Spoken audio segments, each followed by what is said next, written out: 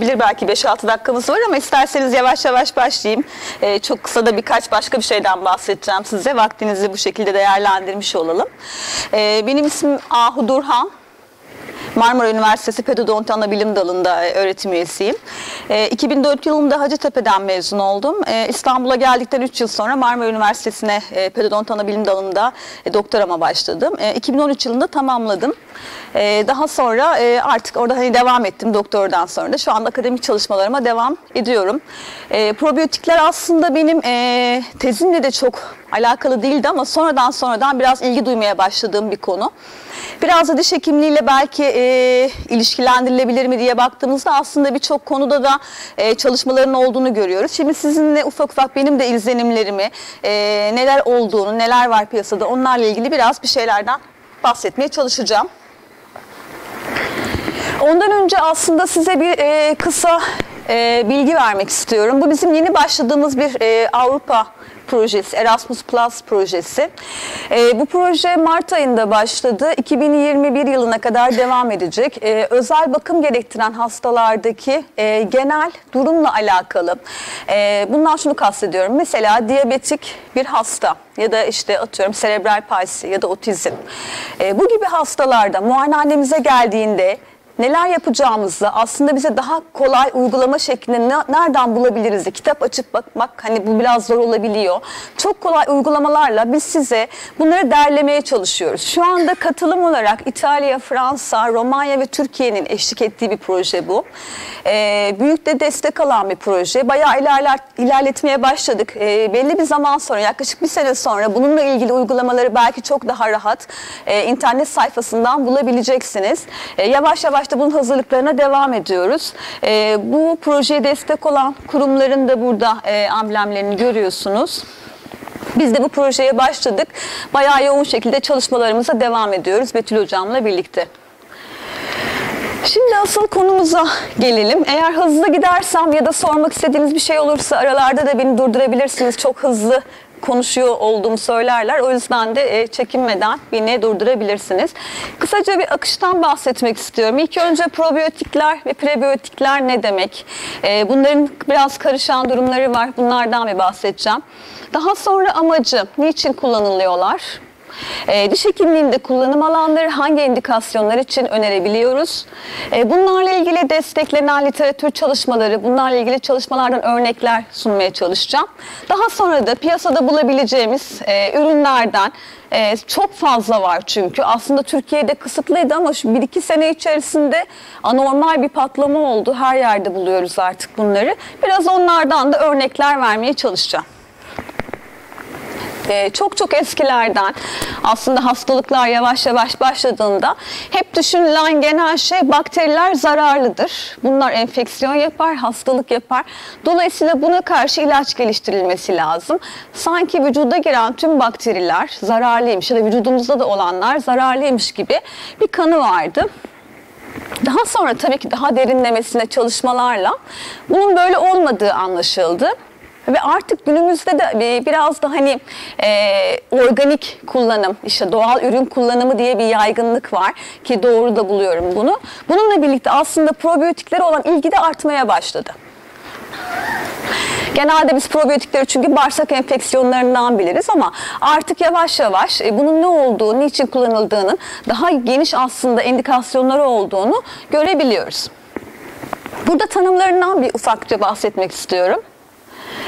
Probiyotikler patojen olmayan ve sindirim sistemi yoluyla vücuda alındığında konağın sağlığına ve fizyolojisine katkı sağlayan bakteriler. Aslında bunlar gastrointestinal sistemde bulunan yararlı bakteriler. Prebiyotikler de bağırsak florasında bulunan yararlı bakterilerin çoğalmasını sağlayan, aslında bunlara bir besi yeri sağlayan, e, bunların aktivitelerini arttırıp e, daha da çoğalmalarını indükleyen, sindirilemeyen karbonhidratlar. Tabii karbonhidrat deyince hep kafa karışıyor. Normalde sindirilemeyenle birlikte de gelince bu nasıl bir tuhaflık? Aslında bir karşıtlık. Normalde karbonhidratların bir kısmının sindirimi ağızda başlıyor.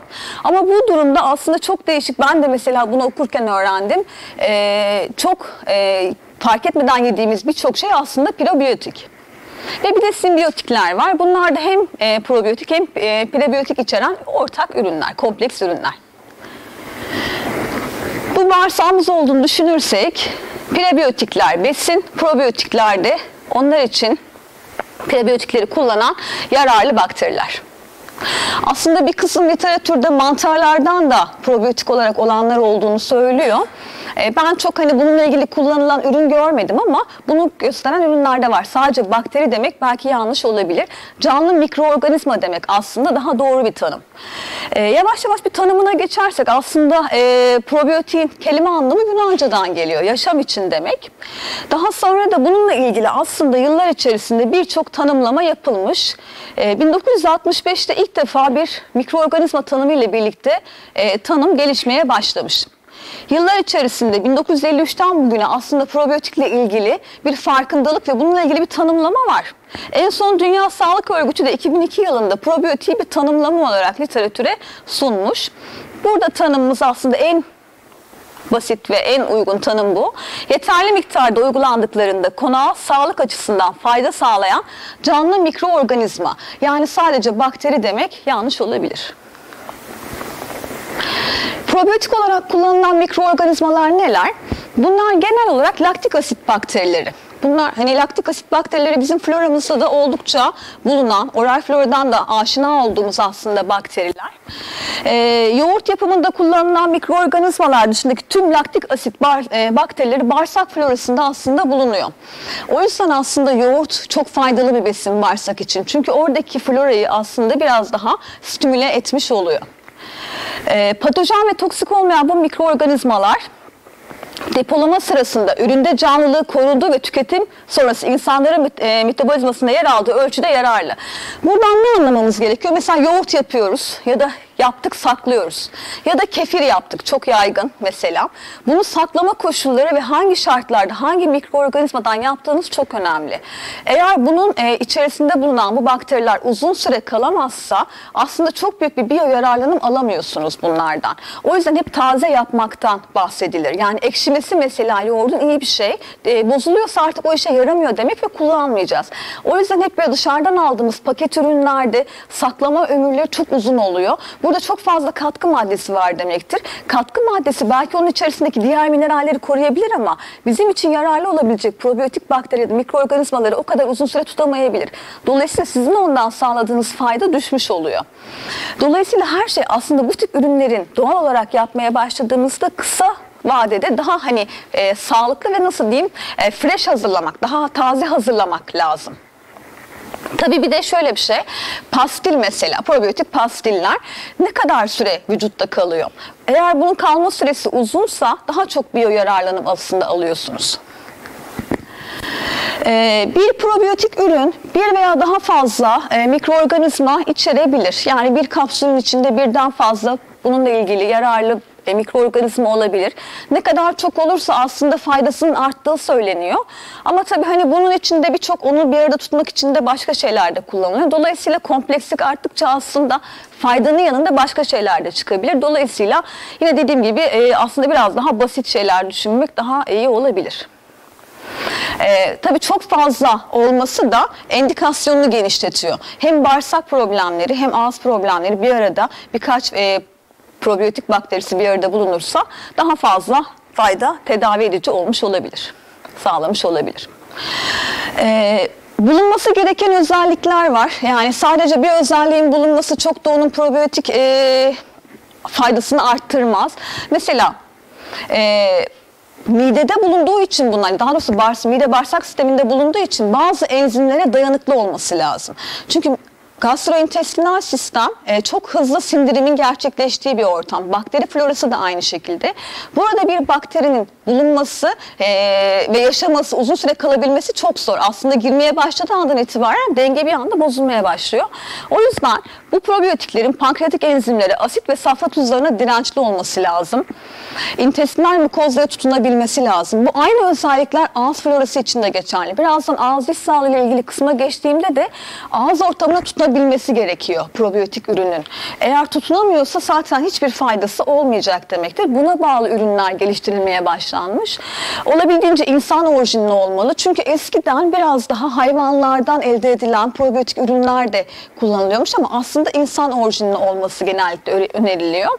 Çünkü çok fazla laboratuvar çalışması var. Evet faydalı ama genelde e, hayvan florasına faydalı. İnsan için çok olmayabilir. Ve tabii eğer bir kapsül ürün ya da bir ticari ürün alıyorsak iyi bir teknolojik özellikler de göstermesi gerekiyor saklama bakımından.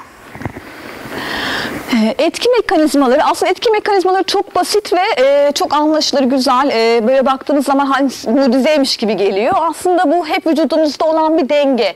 E, bunu biz şu anda böyle keşfediyormuşuz gibi oluyor ama aslında hakikaten mide floramızda, bağırsak floramızda çok e, ciddi bir denge var. E, bunun içerisinde aslında ayıkladığımızda e, bunların probiyotik e, mikroorganizmalarının etkileri 3 mekanizma şeklinde. E, patojen ve zararlı bakterilerin sayısını azaltmak, mikrobiyal metabolizmayı değiştirmek ve bağışıklık sistemini iyileştirmek. Böyle bir diyagram aslında çok basitçe e, anlatıyor. Bunu yaparken bunu nasıl yapıyor? Az önce saydığım o enzimatik aktiviteyi değiştiriyor vesaire derken aslında bir yarış var probiyotik bakterileriyle patojen bakteriler arasında. Patojen bakteriler hızlıca kendine besin yeri ararken probiyotik bakteriler de tabii ki kendi içi, kendisi için bir besin yeri arıyor. Burada bir yarış var ve hızlı bir şekilde agregasyon sağlarsa probiyotikler burada galip geliyor. Patojenler tabii yapışamadığı için çoğalamıyor. Aynı şekilde onların besi yerlerinin içinde bir yarış var. Besi yerlerine gidip tutunduğu için onlara besi bırakmamış oluyor. Ve konağın tabii dolaylı olarak da bağışıklık sistemini arttırıp patojenlere karşı kazanabiliyor. Kaynaklara çok kısaca baktığımızda aslında en çok aklımıza gelen probiyotik ürün yoğurtlar. Yoğurdun yanında bazı sebzeler, Özellikle fermente gıdalar. Fermente gıdalardan kasıt turşu gibi düşündüğümüz gıdalar. Ee, uzun süre e, kalabilecek şekilde e, depolanabilmiş ürünleri, özellikle turşu çok önerilir bunun için de probiyotik olarak e, düşünülüyor. Sebze e, için konuşuyorum tabii. E, insan ağız florası da aynı şekilde aslında bir probiyotik bakterilerin çoğunlukla bulunduğu bir ortam. Ee, ve tabii bunun yanında paketlenmiş ve kapsüllenmiş ürünler de olabilir. Bu paketlenmiş ürünler özellikle kontrolsüz kullanılmaması gerekiyor. Çünkü neticede aldığımız şeyler yine bir mikroorganizma. Birazdan bunun kısıtlamalarıyla ilgili de konuşacağım. Çünkü bazı hastalara da hiç verilmemesi gereken durumlar var. Genellikle güvenle tüketiliyor. Ee, Birçok doktor hani probiyotik de alın yanında. Özellikle antibiyotikleri reçete ettiğimiz hastalara probiyotik kullanabilirsiniz diyoruz. Ee, öneriyoruz ama Birkaç kısıtlama var bu önemli. Ee, sonuçta bir mikroorganizma verdiğimizi unutmamamız lazım. E, çok nadir de olsa infektif endokarditle alakalı enfeksiyonlardan, bakteriyemi olgularından bahsedilmiş. Ee, Finlandiya gibi özellikle e, Kuzey Avrupa ülkeleri biraz daha gelişmiş ülkelerde bu tip ürünlerin kullanımı çok fazla. Yalnız bunlarda da fırsatçı enfeksiyonlarda bir artış var mı yok mu diye araştırma yapılmış ama olmadığı görülmüş. E, immün yetmezliği olan hastalarda çok da kullanılmaması aslında öneriliyor. Çünkü sonuçta dışarıdan bir mikroorganizma takviyesi yapıyorsunuz.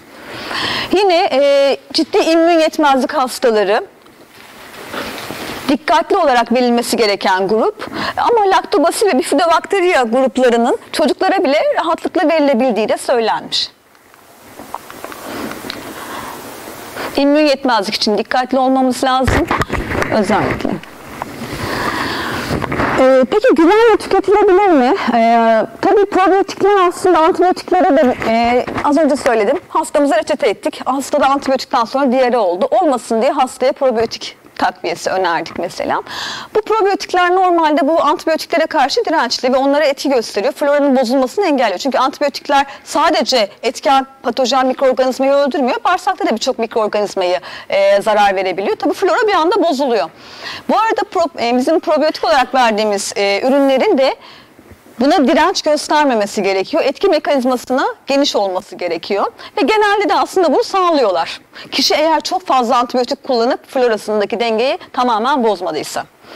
Ve e, aktif ülseratif kolitli ya da e, akut hemorajik pankreatitis olan özellikle pankreas problemi olan hastalarda probiyotik kullanımı aslında biraz riskli. O yüzden belki de hastalardaki aldığımız anamnezle biraz daha kontrollü verilebilir.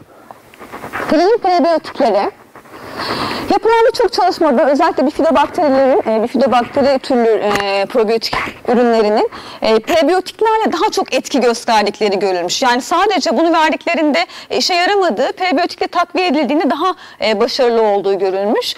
Aslında intestinal florada bulunan ve mikroorganizmaların çoğalmasını aktive edici ürünler. Belki doğal yolla çok da alıyoruz. Onların stimülasyonunu sağlıyor ve Sindirilemeyen karbonhidrat bunlar. Enerji değeri aslında çok az Ee, ve tabii genellikle atılıyor. Özellikle kabızlık problemi olanlarda da çok çok hani bu prebiyotik kullanımı belki probiyotiğe göre daha faydalı olabiliyor. Benim çok da mesela sonradan fark ettiğim hindiba denilen bir bitki e, ve enginarda özellikle oldukça yoğun prebiyotik var.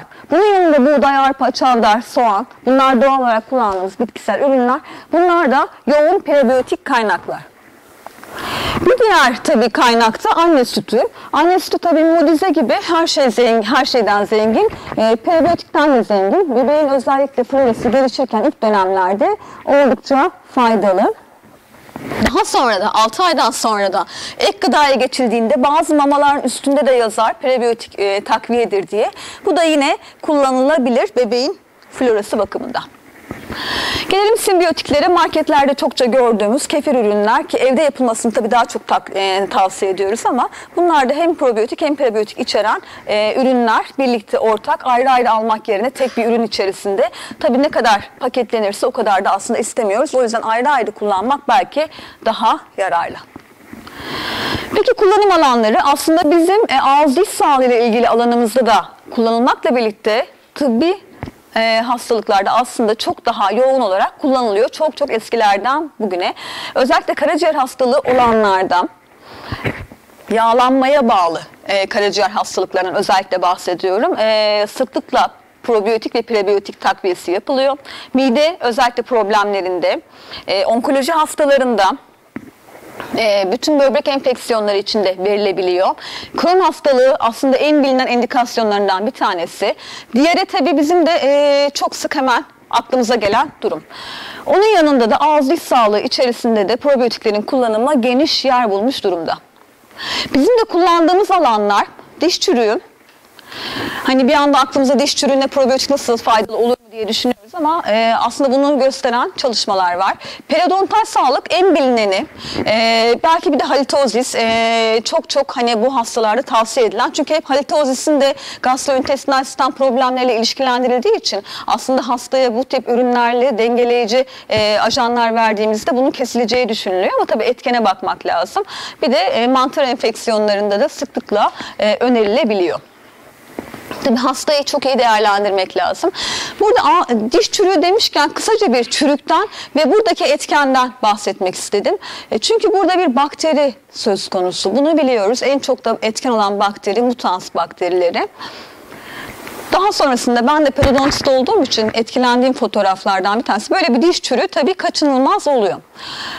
Bu skalada baktığımızda bizim için şu kısım bu probiyotik e, konusunda önemli. Çünkü probiyotiğin aslında etki mekanizması buradaki bakteriyle yarışı konusunda oluyor. Hangisi daha hızlı konağa yerleşirse orada çürük oluyor ya da olmuyor. Tabi bu etki zayıf olabilir, kalıcı olmayabilir. Buna bağlı olarak da hastadaki çürük dengesi değişebilir.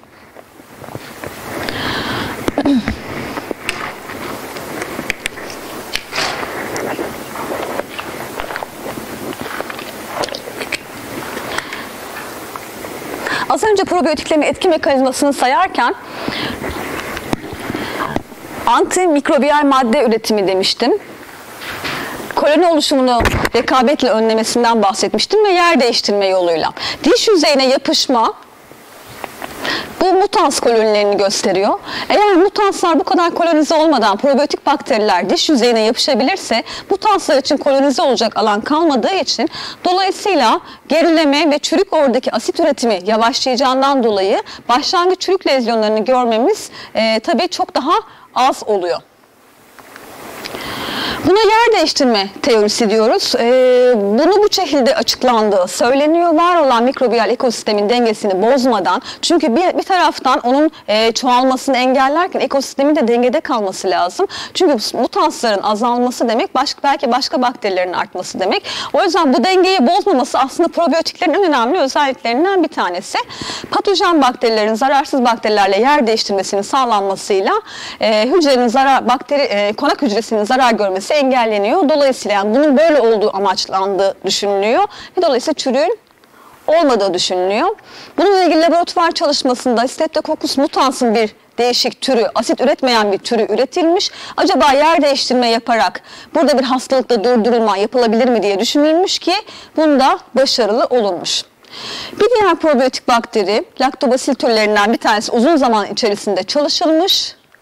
Bunun da çocuklara süt içerisinde verilerek 5 gün boyunca denenmiş ve çocuklarda içeren ve içermeyen sütler verilmiş.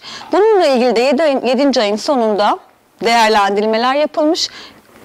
Değerlendirmenin sonucunda probiyotik bakteri içeren sütlerin çocuklarda ağız diş sağlığına yararlı etkileri olduğu bulunmuş. Aynı şekilde aynı bakterinin peynir grubunu da denemişler. Bu daha kısa süreli 3 hafta boyunca veril, pardon daha uzun süreli 3 hafta boyunca verilmiş. Yine aynı şekilde bakteri kolonizasyonuna bakılmış mutansta azalma var mı yok mu diye. Çünkü normal şartlarda tabii ki de 3 haftada çürüğün gerilemesini görmemiz mümkün değil. Burada kolonizasyon sayılıyor. Yani patojen mikroorganizmada acaba azalma yapıyor mu diye bakılıyor.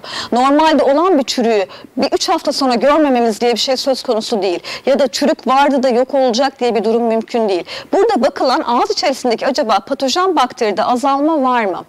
Deneylerin hepsi zaten bunun üzerinden gidilmiş. Önce sonrasında patojen bakteride azalma var mı? Bakıldığında da genellikle mutans üzerinde araştırma yapılmış ve hepsinde aslında mutansa bu probiyotik bakterilerin çok etkili olduğu görülmüş. Yine laktobasil türü olan bir probiyotik ürünün peynir içerisinde olduğunu söylüyoruz. İnhibe edici etkisi olduğu söylenmiş. Yine Çağlar ve arkadaşlar ki Çağlar hocamız bu konuda aslında uzun yıllar çalıştı Yeditepe Üniversitesi'nde. Ee, bununla ilgili probiyotiklerle ilgili çok ciddi klinik ve aslında deneysel çal e, laboratuvar çalışmaları oldu. Bunlar da en önemlilerinden bir tanesi bu. Şu anda e, çok fazla da e, rağbet gören bir çalışma. Birçok e, yayının da bunu kaynak olarak kullandığı bir çalışma. Probiyotik içeren e, sakızla ksilitol içeren sakız e, arasında karşılaştırma yapmış ve ikisinin birlikte kullanıldığı yine bir e, grup oluşturmuş. 80 bireyde Birinci grupta sadece probiyotikli e, sakız, ikinci grupta ksilitollü sakız, üçüncü grupta hem probiyotik hem ksilitollü sakız kullanılmış, dördüncü grupta bir plasebo sakız grubu oluşturulmuş. Bu hastalarda yapılan daha sonraki laktobasil mutans değerlendirilmesinde Tabii e, hem önce hem sonrası tükürük örnekleri alınıyor. Özellikle birinci ve ikinci grup. Birinci ve ikinci grup hangi gruplar? E, probiyotik bakteri içeren sakız ve ksilitol içeren sakız. İkisinde de aslında mutans değerlerinde anlamlı düşüş görülmüş, laktobasilde görülmemiş. İkisinin birlikte kullanılması da etkiyi değiştirmemiş. Ayrı ayrı da kullanısı oluyor. Yani probiyotik aslında etkisini göstermiş oluyor.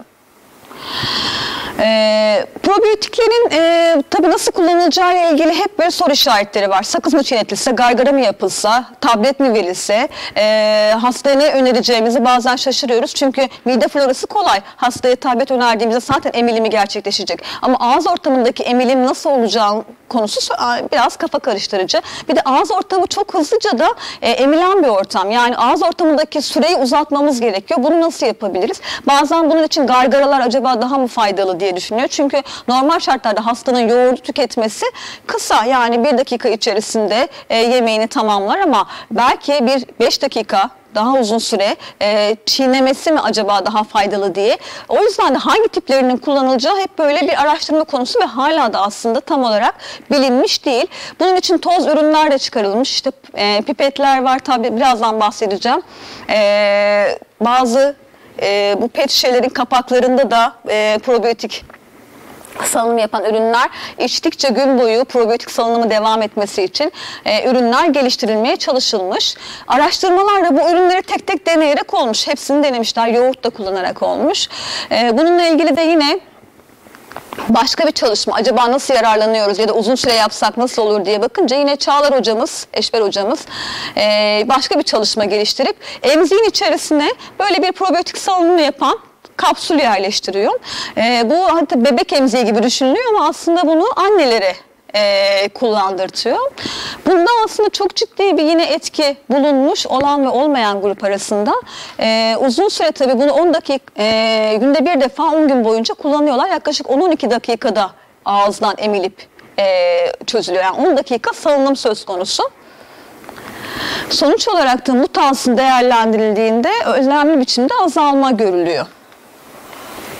Başka bir çalışma yine Eşber hocamızla birlikte, Şule hocamızın birlikte yaptığı başka bir çalışma ortodontik braket kullanan hastalardaki e, etkiye bakıldığında e, burada da yoğurt tüketimi söz konusu. Probiyotikli ve probiyotiksiz e, buradaki ürün içinde bulunan. Yani size de burada e, arada bir şey söylemiş olayım. Kullandığımız, aldığımız probiyotik kapsüllerde de ne ürün var aslında okumamız lazım. Ne kadar bakteri, probiyotik bakteri var içerisinde. Çünkü bazen uzun bir liste oluyor, bazen de yazmıyor. Yazmaması aslında bilmiyorum. Hani belki benim için soru işareti olur. Hangi bakteri var içerisinde diye. Özellikle yazmasını ve ne kadar olduğunu bilerek almak kendimiz için de alırken önemli. Özellikle ilaç kısımlarını yani e, bir tablet kullanıyorsak. Bu çalışmada da yine başarılı e, ortodontik tedavi gören bireylerde kısa süreli günlük probiyotik yoğurt kullanımının e, tükrük mutans değerlerinde azalmaya sebep olduğu gösterilmiş. Ee, bir diğer durum aslında e, özellikle periodontologlar bunu e, çok sıklıkla e, kullanıyorlar, tavsiye de ediyorlar. Çünkü diş eti enfeksiyonlarında özellikle de e, e, çok daha faydalı olduğu düşünülüyor. E, bununla ilgili de yapılan e, çalışmalar oldukça fazla. Burada tantumla karşılaştırılan bir çalışma var ve inflamasyonun probiyotikli e, tablet kullanan grupta tantuma göre daha başarılı olduğu görülmüş. Yine bununla ilgili üç ayrı çalışmada da bakteri oranında düşüş, e, gingivitiste azalma, ee, yine aynı şekilde diş eti kanamasında da önemli derecede azalma olduğu bildirilmiş. Hatta bizde puberte dönemindeki e, çocuklarda önleyemediğimiz bir diş eti problemi oluyor. E, bu bireylerde de kullanımla ilgili önerilerimiz olabiliyor. Çünkü orada hormonal de bir denge var. Florada ciddi bir değişiklik var. E, periodontal problem çünkü e, oral hijyen sağlanmasına hani çocuklarda çünkü özellikle bu sıkıntı yaşıyoruz. Zaten yeteri kadar sağlanamıyor. Bir de üstünde hormonal dengede bir etki görürsek e, probiyotik probiyotikler bazen orada bize de fayda sağlayabiliyor. Hocam çok fazla Kingivitis'te ben kaçırdım anlamadım. Etik mekanizması ne oluyor? Yine bakteri üzerine. Çünkü gingivitiste ha, bir de şöyle bir şey var tabii. Bakteri plan tutunmasını da engelliyor. Çünkü gingivitisteki ee, yine tutunmayla alakalı. Yani bakteri üzerinde değil de gingivitis normalde plan üzerinde diş etinin üzerinde uzun süre kalmasıyla oluşuyor. Oradaki e, diş eti enflamasyonu yapan bakteri üzerine etki yaparak yine etkisini gösteriyor. Yani oradaki antibakteriyel bir etki değil ama yine bakteriyel yer değiştirme mekanizmasıyla. Dental plan akümülasyonunu düşürmüyor yani. Plan tutulmasını engellemeyle ilgili değil, e, bakterideki yer değiştirmeyle alakalı. E, bu da bizim yaptığımız bir laboratuvar çalışmasıydı. E, travma geçirmiş avüsyonla gelen hastalarda avisyonda dişi saklayacakları e, ortam önemli. E, biz hani süte koyun diyoruz ya da suya koyun diyoruz. Bununla ilgili acaba probiyotikle bir ortama koysalar ya da yoğurt hani yoğurt bulabilirler en yakın probiyotik içerebilecek ürün. Bununla ilgili bir e, acaba çalışma yapsak nasıl bir sonuç alırız dedik. Tabii biz burada yoğurt kullanmadık. Bunu e, probiyotik damla içeren ürünler kullandık. Bununla ilgili de aslında Hengst balans solüsyonuna yakın sonuçlar aldık. Dolayısıyla aslında periodontal ligament hücrelerindeki canlılığı e, sağladığını düşünüp probiyotikli bir üründe de saklayarak getirseler başarı sonuç alabileceğimizi düşündük. Hastalara öneri bakımından da aslında önemli bir çalışma oldu. Bir diğer çalışmada e, yine periodontal e, periodonto, periodontoloji alanında yapılmış başka bir çalışma. Bir yıl takip edilmiş bir çalışma. E, kronik periodontitisi hastalarda e, flap sonrası e, probiyotik yerleştirme soket içerisine. E, bununla ilgili işte bir yıllık değerlendirme yapılmış. Belli dönemlerde de o bölgelerden e, mikrobiyal e, analiz için kültür alınmış. E, bununla ilgili de aslında çok ciddi bir iyileşme olduğunu bulmuşlar. Yalnız buradaki önemli sorun optimal doz. Çünkü e, verilecek doz aslında hala sıkıntı. Az önce de söyledim söylemeye çalıştığım şey ne kadar kullanacağımız, etki süresi, ağız içindeki çiğneme, kalma süresi önemli bununla ilgili hala net bir şey yok. Bir diğer içerisinde gördüğümüz enfeksiyonlar mantar enfeksiyonları. Mantar enfeksiyonlarına da probiyotiklerin oldukça etkili olduğunu gösteren çalışmalar var. Etkili olmadığını gösterenler de var ama e, hastaya yine takviye olarak e, ürünler önerilebiliyor. Özellikle peynir tüketiminin e, mantar enfeksiyonunu gerilettiğini gösteren çalışmalar olmuş. Başka bir çalışmada da aslında albikan, kandida albikansa karşı e, bir sayısal değişiklik olduğu gösterilmemiş. Yani bu e, burada da mesela desteklemeyen bir çalışma. Ama genel olarak mantar enfeksiyonlarına probiyotik önerilen bir ürün. Asıl problem halitozis. Halitozis konularında da e, probiyotik düzenli kullanımı etkili olduğunu söylemişler ama hastanın tabii gastrointestinal sistemle alakalı bir halitozis mi var? Bunu bilmek lazım. Diş çürüyle alakalı bir halitozis de o kadar faydalı olmayabilir. Bunu tabii.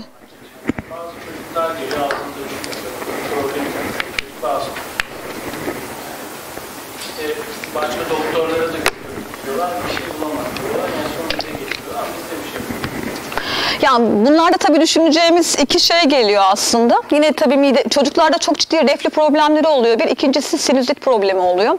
Ee, üst solunum yolu enfeksiyonları, geniz eti problemleri, bademcik problemleri çocuklarda ciddi ağız kokusu yapar. Bir diğer problem de ağız, e, gece ağzı açık uyuma. Yani bu da yine üst solunum sistemi yani burun tıkanıklığı vesaire ile alakalı durumlar. Eğer diş çürüğü kaynaklı zaten biz diş hekimleri olarak diş çürüğü kaynaklı kokuyu çok rahat anlayabilir ve edebiliriz bundan kaynaklı da değil diye. Ee, onun dışında eğer bize farklı gelen bir e, ağız kokusu varsa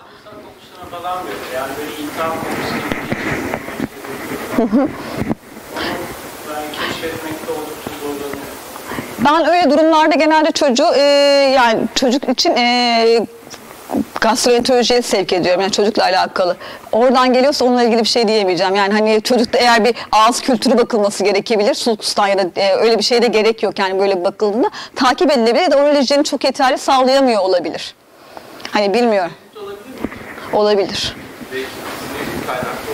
Hani kastettiğim şey biraz üst solunum yollarıyla alakalı kronik sinüzit de olabilir ama kronik sinüzit de çok rahat algılanabilen bir kokudur. Yani hani e, ayırt edilebilecek bir kokudur.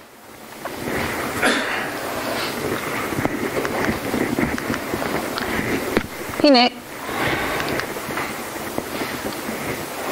tüm mekanizmalarını probiyotik ürünlerin etki ederek e, volatil sülfat inhibisyonu ile ağız kokusunu engellediği gösterilmiş.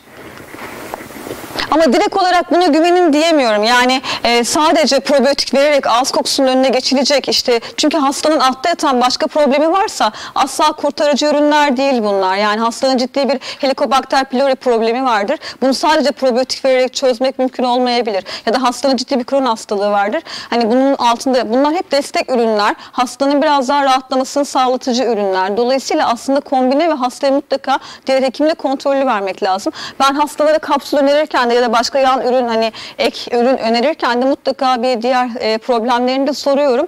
E, çünkü belli de olmuyor da hasta sadece buna güveniyor ve geçmediğini söyleyip geri geliyor. E, tabii ki bunlar bizim sadece tek başına bununla çözebileceğimiz problemler olmayabilir. E, Staphylococcus salivarius aslında çok önemli bir bakteri. Bebeklikte aslında oral florada olan bir bakteri. Bu e, probiyotik türleri içerisinde çok kullanılıyor. E, çok da seviliyor, çok kıymetli bir aslında bakteri. Özellikle volatil sülfat üzerine bunun e, suçları kullanılırsa hani demiştim ya probiyotik kapsül alacak hasta ya da bir ürün öner- önereceğiz. İçeriğindeki bulunan probiyotik ürünün bakterinin ne olduğunu bilerek önerirsek belki daha etkili bir çözüm bulmuş olabiliriz. E, çünkü özellikle salivarius içeren probiyotik ürünler e, ağız kokusu üzerinde daha etkili olabilir. Tabii bunlar e, bahsettiğim probiyotik ürünler hem e, hastayı tedavi etmemize katkı sağlıyor hem de bazen önleyici de olabiliyor. Çünkü aslında günümüz e, bilmiyorum muayenehane hekimliğinde bunu ne kadar e, yapıyoruz ama ya da ne kadar hani e, aklımızda çünkü biraz daha tedavi kısmındayız. Koruyucu kısım da bizim için çok çok önemli. Ben probiyotikleri aslında bu bakımdan da bilmiyorum belki yavaş yavaş gelir e, önerebileceğimizi düşünüyorum ilerleyen dönemde. Çünkü koruyucu diş hekimliğinde hep aklımızda kalan çürüğü önlemek adına. Ama periodontal sağlık, ağız sağlığı, floranın denge tutulması için de probiyotikler önerilebiliyor. Az önce bahsettiğim e, kaynak, bu gösterdiğim kaynak çok önemli bir kaynak. E, sadece koruyucu hekimliğin pedodonti alanında değil de tüm alanlarda e, olabileceğini gösteriyor ve bunun desteklenmesini gösteren yeni yeni yapılmış önemli bir kaynak çalışma. Tüm branşlar bunu benimsemeli diye söylüyoruz. Burada periodontoloji de özellikle bizim için e, bu konuda e, probiyotikler bakımından bir önemli branş. Çünkü ileriye baktığımızda aslında gelecekte e, tedavi prensiplerinin çoğu biyomimetik ürünler olacak. Yani buna gideceğini gösteriyor bu skala. E, dolayısıyla aslında bu hep ürünlerle birlikte belki tedavilerimizin çoğu, ileride hastalarımızın çoğunda çürük olmayacak. Hastalarımız 80 yaşında olacak belki. Çok daha başka problemlerle gelecek. E, geriatrik diş hekimliğine doğru giderken bu ürünlerin kullanımı da karşımıza hep çıkacak. Daha iyi belki bileceğiz. Daha iyi ürünler e, önümüzde olacak. Dolayısıyla hastamızı doğru teşhis edip koruyucu ürünlerimizle birlikte en son belki tedavi kısmına geçeceğiz. Şimdi biraz biraz ürünlerden bahsetmeye başlayacağım. Tabii biraz burada firmalar falan geçecek ama hani e, bütün e, ürünlerden aslında e, ortaya bir şeyler e, koymaya çalıştım. Türkiye'de olan var, olmayan var. Çok takip edemedim. E, bunlar biraz daha hani eski ürünler ama şu an yavaş yavaş Türkiye'de de olmaya başladı. Biraz da pahalı ürünler aslında. E, tabii e, sayısı arttıkça fiyatları da düşmeye başlıyor. Bu, Probiyotiklerin bu formu gargara formu. Her formda gargara bulamayabilirsiniz. Her markada gargara olmayabiliyor. Tabi hastaya önerirken özellikle diş eti problemi olan hastalarda da hızlı çözüm için gargara önerilebiliyor.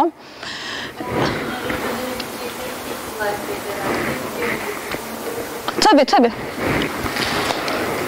Özellikle ben yoğurt çok öneriyorum. Diş eti problemi, aft problemleri. Yani çünkü çocuklarda, bebeklerde önerebileceğimiz ürünler var tabii yan ürünler ama bazı hastalar tabii ki de ilaç istemiyor ya da alma durumu bakımından da sıkıntı olabilir. Dolayısıyla bu tip ürünler de çok doğal evde bulunabilecek ürünler. Ee, özellikle yoğurt e, çok çok etkili olduğunu düşünüyorum ben de. Ha? Adına. Tüketmek adına evet. Yani sadece bağırsak floramıza değil. Değil ağız de diş eti. Aynen öyle. Aynen. Aynen.